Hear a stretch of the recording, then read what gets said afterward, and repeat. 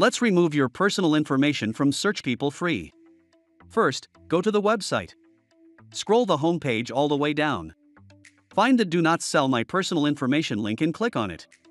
Here, enter the email address you use for opt out requests.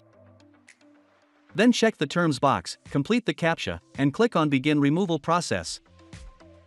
Now go to your inbox and open an email from Search People Free. Click Validate My Email. Then click Start a Search. On the appearing page, enter your full name. Then enter your city and state. And click Search. Now, scroll through the results to find your record. Once you do, click the Continue Removal button. Finally, click the Remove this record button at the top. Your request has been submitted and should be processed shortly.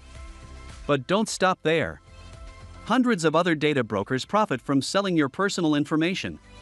Head to OneRep.com to remove your data from these sites automatically and hassle free. OneRep scans data brokers for your profiles and sends opt out requests on your behalf. Sign up for free and get an instant report with a list of sites that expose your private information.